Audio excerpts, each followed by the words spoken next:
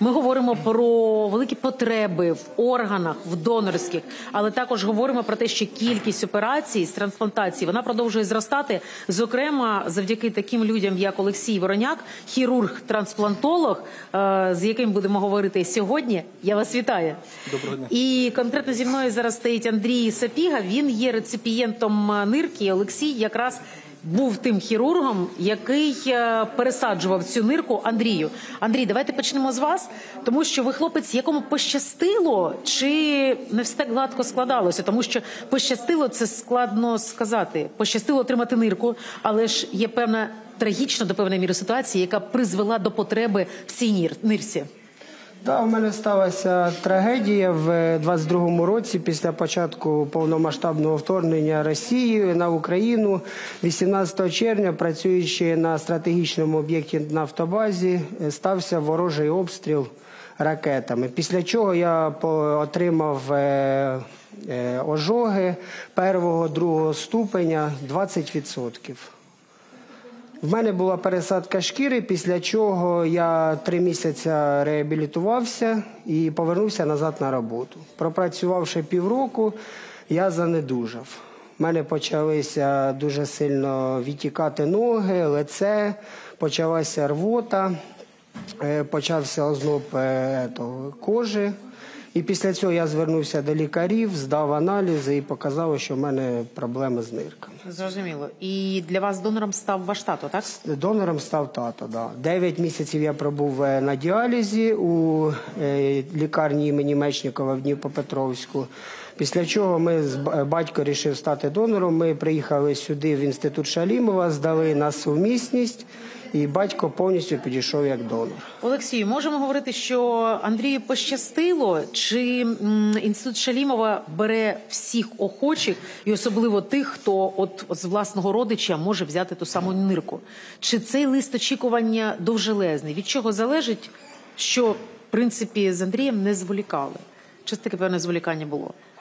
На діалізі 9 місяців це ну такий порядний проміжок часу. Трансплантація нирки є золотим стандартом лікування пацієнтів з термінальною нирковою недостатністю. І якість життя пацієнтів, звичайно, після трансплантації стає набагато кращою.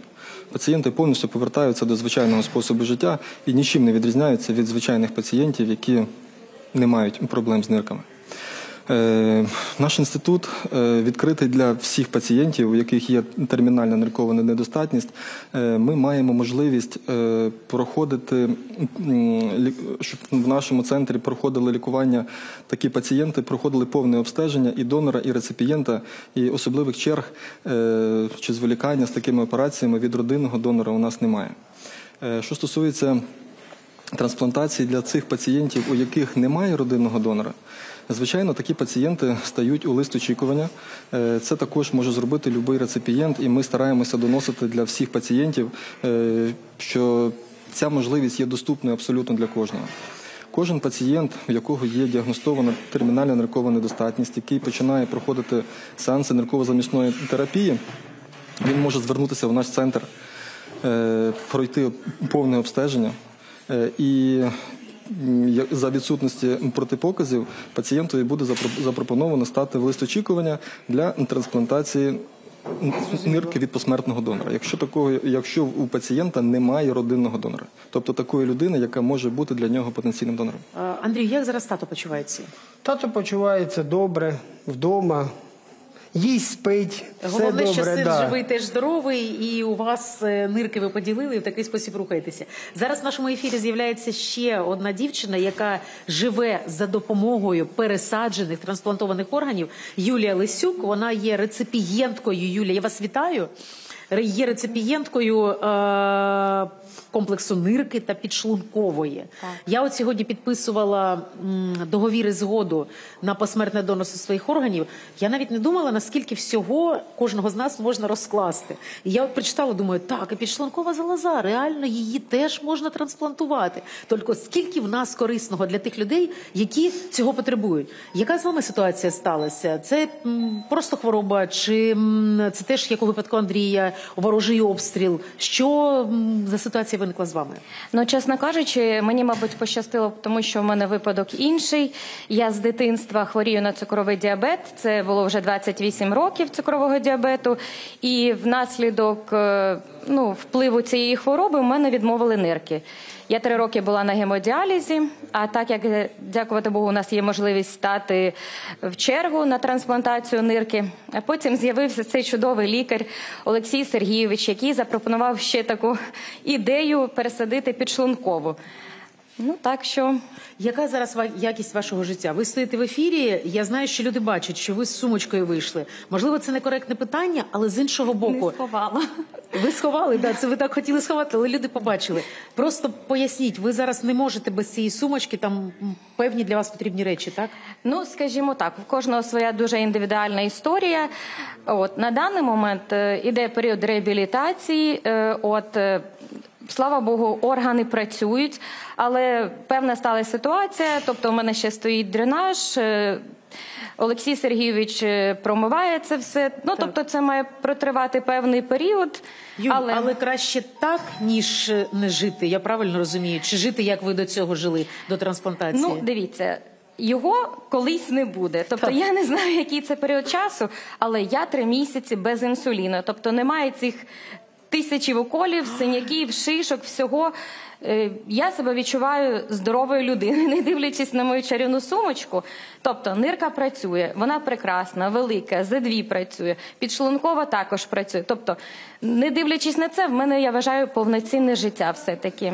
Ми сьогодні говорили про те, пане Олексію, що у нас е, немало центрів, які можуть робити трансплантацію. Але для мене особисто стоїть питання показників, відстежування наслідків. І я так розумію, виправляйте мене, що галузь цьому напрямку розвивається, щоб збирати всі дані, потім відстежувати таких як Юля, таких як Андрій. Правильно я розумію? Тобто рівень, е, на який варто рівнятися, і зокрема це е, хірурги е, інституту Шалімова, він доволі високий, але не всі поки що регіональні центри вони цього рівня досягли. Правильно?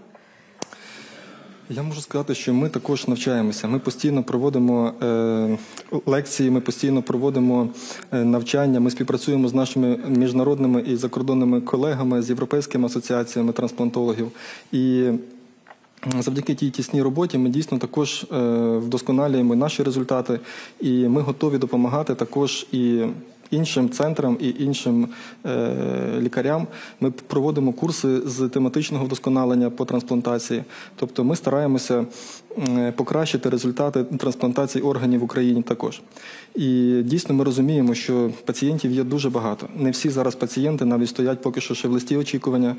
Е, І кількість таких пацієнтів буде збільшуватися, тому що виникає довіра пацієнтів до лікарів, є підтримка держави, є підтримка Міністерства охорони здоров'я, яка допомагає. Нам виконувати такі операції, Е, і завдяки цьому кількість таких операцій буде збільшуватися, і результати будуть покращуватися.